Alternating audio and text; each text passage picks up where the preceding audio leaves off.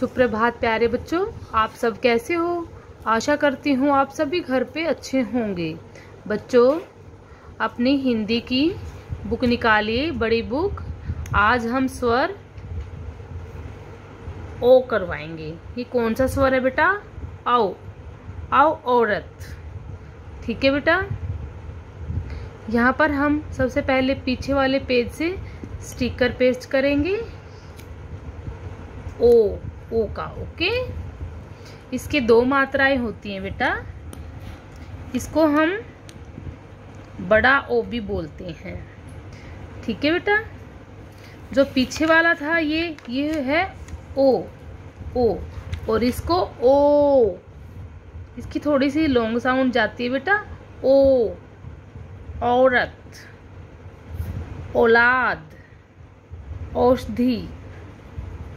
ठीक है? अब हम देखते हैं स्वर ओ कैसे बनता है।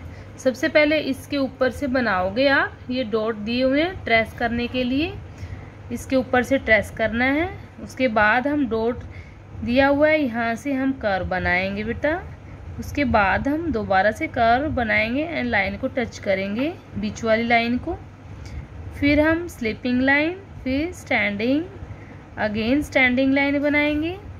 अब हम मात्रा बनानी है हमें हमें जो ये स्टैंडिंग लाइन बनाई है ना इसके ऊपर भी हम टू मात्रा बनाएँगे। देखो पहले स्टैंडिंग लाइन बनाओ फिर स्लैंटिंग इसको कर बनाओ। ठीक है? अब हम इसके ये हमारा स्वर ओ बन गया बेटा। ऐसे ऐसे।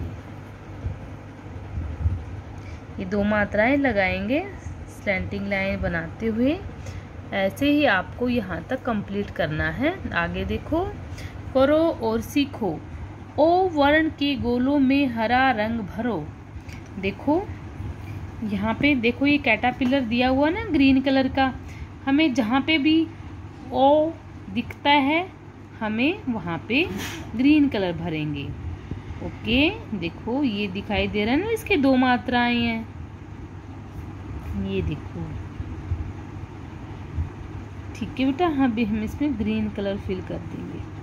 अब देखो, यहाँ पे भी हम ग्रीन कलर फिल करेंगे। ओ। ओ। यहाँ यहाँ पे भी हमें ओ दिख रहा है ना बेटा? अब हम ये